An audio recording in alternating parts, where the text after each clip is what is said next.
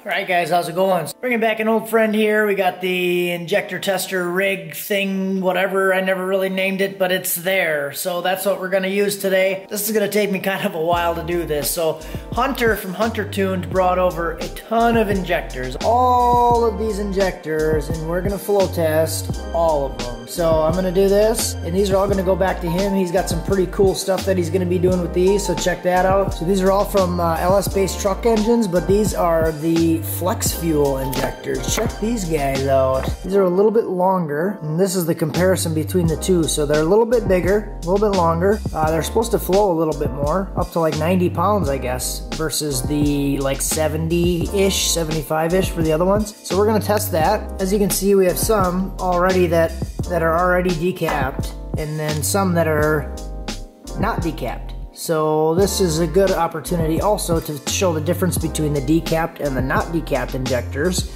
And then we can do a difference between decapped, not decapped, and then we can do decapped and not decapped on the flex fuel. So he brought these over kind of a while ago and I'm totally happy that these have the plugs on them because I almost went to the junkyard uh, today actually and I was gonna go look for some flex fuel plugs for these things because I knew he brought the injectors over and I wanted to test them but I didn't think that they had plugs on them. So I almost went to the junkyard today without checking and it's like zero degrees outside to find what I had in the garage. That would have been funny. So yeah, let's get to it. So we're gonna test all these injectors. We are going to decap some of them. We're gonna test the difference between decap and not decap. And we're also gonna check the difference between decapped and not decapped on the flex fuel. After this test, and after this test, we should be able to compare the two tests to see how much more the flex fuel injectors flow than these things. And if you're wondering why the heck do I have a lawnmower engine bolted to a TV stand, you can check that out in a previous video and watch me run this engine on hydrogen that I made from tinfoil and drain cleaner. So I'll put a clip in there now, go back, check out that video. Let me know if you're interested in that kind of stuff. I'd love to do a lot more of that because it's pretty cool.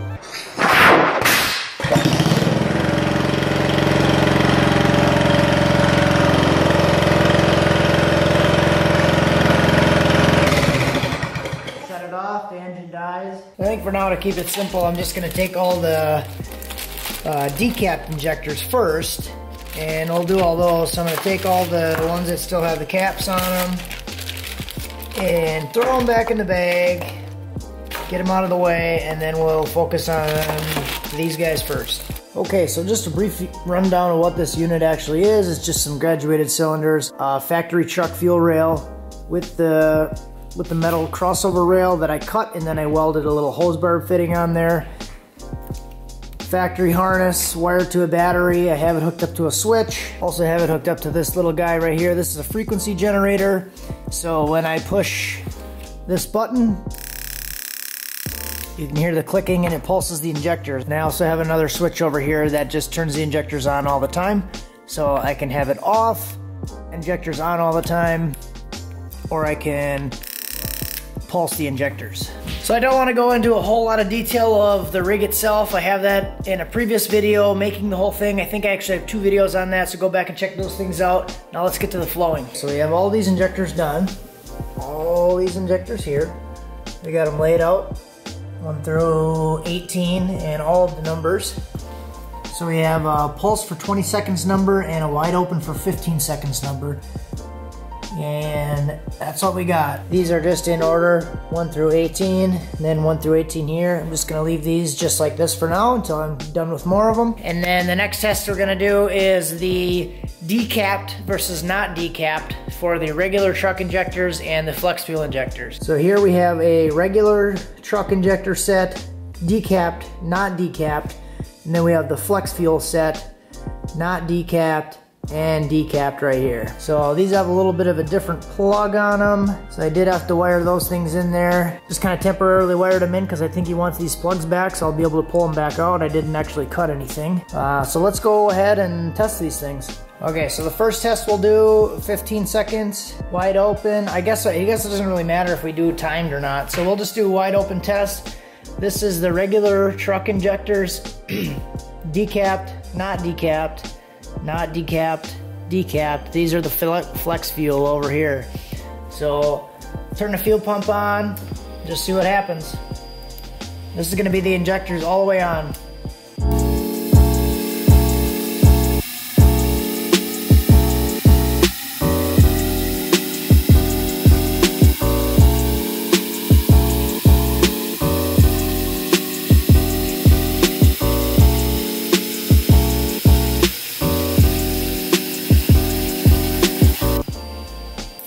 Okay, so now that we have that done, we have about 210 milliliters here on the decapped regular truck injector, and we have 230 on the flex fuel decapped truck injector. So that's actually quite a bit more. I've actually flowed these, all of these, um, probably about 10 or 15 times now. When I originally started doing this test with these same four injectors, this injector was actually flowing less than this one here. So I think this one was just kind of gummed up and probably not really working right. I did have to push the pintle in with a pan again to get it to cycle the first time because it was like completely stuck shut. So that would make sense if this has like E85 or some kind of flex fuel junk in it, uh, why it would be stuck after it was sitting for quite a while. So the more that I flow these things, this one actually starts to flow more. So that's actually quite a quite a significant difference now. That's probably the most I've seen it yet. So 210 versus 230, and then these two have been pretty consistent. The the factory capped flex fuel and regular. So this one is only about 70, and this one is at 100. So with the caps on them the the flex fuel flows a lot more, about 25% more, and that's been pretty consistent. So that's I guess about it. The flex fuel does definitely flow more. I'm just questioning how much more it's actually flowing when it's decapped. So if we put this into a percentage, so it's probably about 10% more. Yeah, so this is this is about 8 to 10% more right now decapped. So let me dump all these out and then we'll we'll do the pulse test on it. The pulse test is a little bit different than my original video. It's about 21 hertz now, so I got it set up for about a 2500 RPM engine equivalent. So you get a good representation of what the injectors are actually doing. Uh, we'll say normal driving load conditions and wide open conditions. So now let's take this thing again, pull these things up, and we'll flow them. But we'll do it pulse this time. Turn the fuel pump on. Let's go.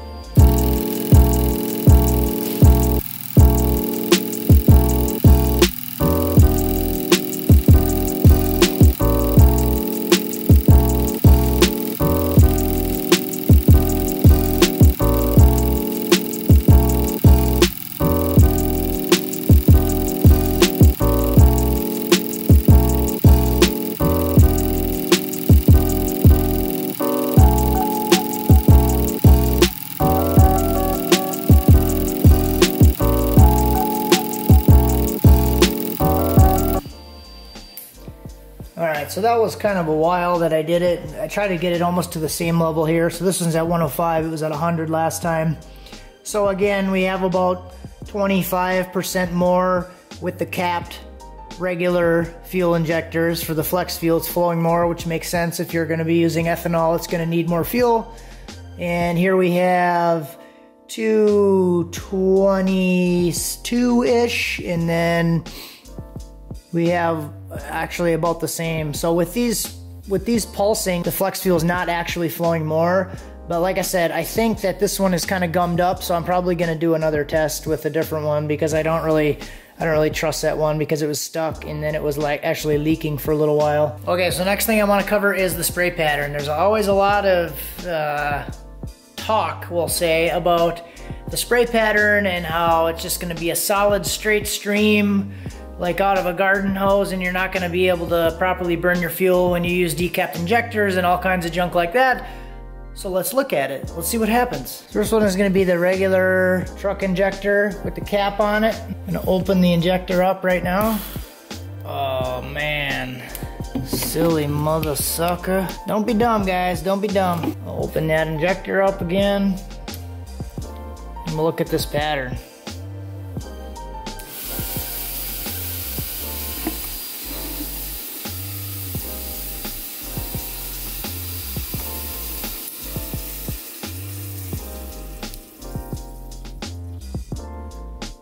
Right, so that was the regular Capalicious So Delicious truck injector. Now we will do the decapped.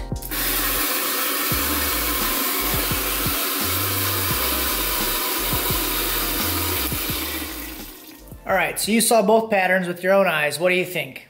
Leave a comment. Let me know what you guys think. I'm not going to give you my opinion. I'll let you guys decide for yourself. So one pattern versus the other, decap, not decapped. What do you think?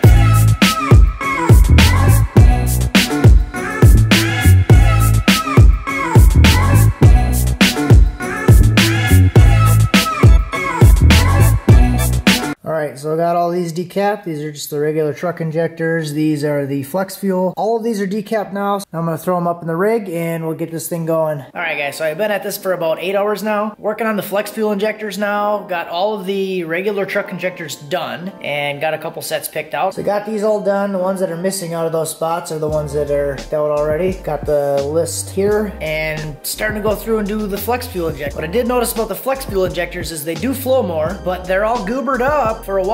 So some of them I've actually had to run like four or five times before I could get a decent flow out of them. Some of them don't even open. So I'll either have to push the pintle in or cycle them a few times just to get them to run and then it's got to clean all that crap out of there. I already did this set right here. I'm gonna show you guys this and see if it can do the same thing. It might not. It might get stuck or it might have like a big green blob that comes out of it. So it's kind of weird. Those things are definitely a little bit sketchy, but if they are cleaned out decent, they do flow more. So let's play with those. First, let's check the flow flow out on these two over here. So I'm gonna run these things. Let's run the pump, we'll start back over, and we'll try to hit 15 seconds this time. 15 is just a number that I picked because I felt like it.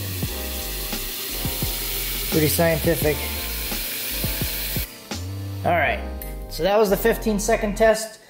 So like I said, 195 here, and then we got a 190. So pretty consistent. Now I'm gonna dump these out again and we'll go through and we'll do the 20 second pulse test. So this is basically what I've been doing over and over and over and over all freaking day long. And this is the last set that I gotta do, which is probably good because I definitely would have ran out of beer if I had to do any more. So now I'm gonna run this other test, flip the switch over to the other side, turn the pump on, and I'll push my little button over here.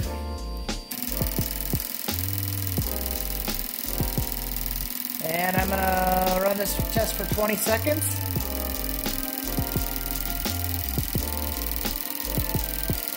So this test is a 21 hertz test.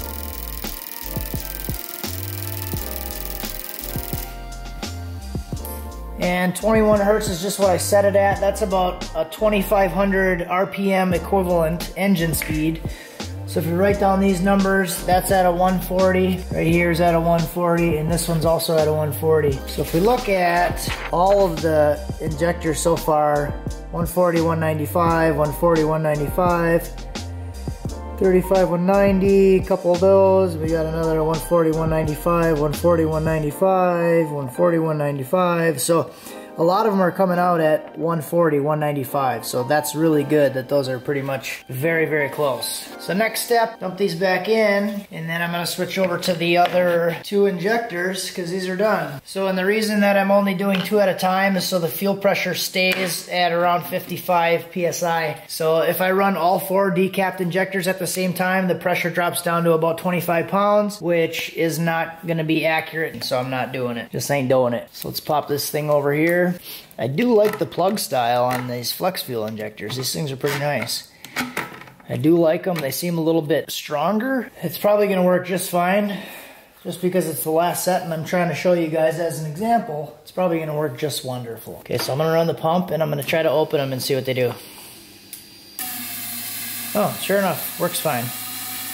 Great. So basically what it was doing on some of the other sets, I would turn it on like that and nothing would come out. Or it would be just a little bit of a trickle or the stream would be shooting out sideways like you just woke up and then it would be like all over the place and then I'd pulse it a little bit and then it would actually start to spray. Okay, that is about it for this video guys, but check this out. See all that junk down in there?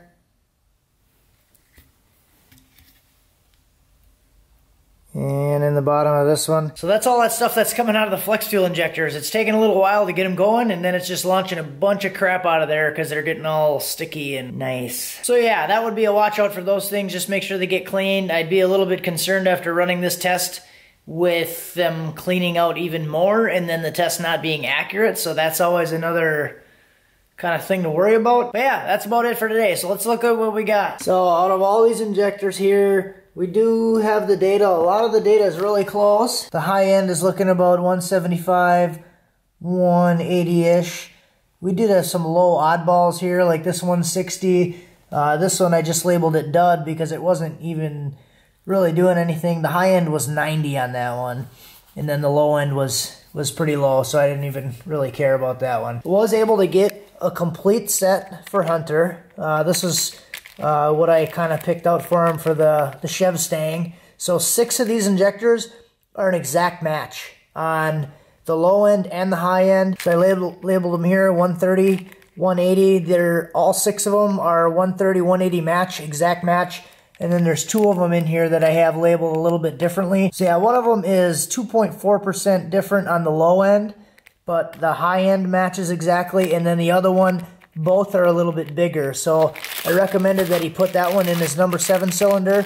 That one's about 2.7% uh, larger, flows a little bit more. So we've talked about this in a previous video, but the reason that I picked that one that's flowing a little bit more, it's 2.7% more. Labeled that one as number seven cylinder, so you can put that one in cylinder number seven, because Usually on these engines, they lean out a little bit more, so maybe it wouldn't hurt to have a little bit more fuel. But other than that, seven of the injectors are within 2.4%, and the other one is 2.7%. Basically, seven of the injectors match within 0% at full wide open. So that's a pretty good deal. So I'm gonna go in, wash the gas off my hands, get some fresh air, open the garage door, have a good night.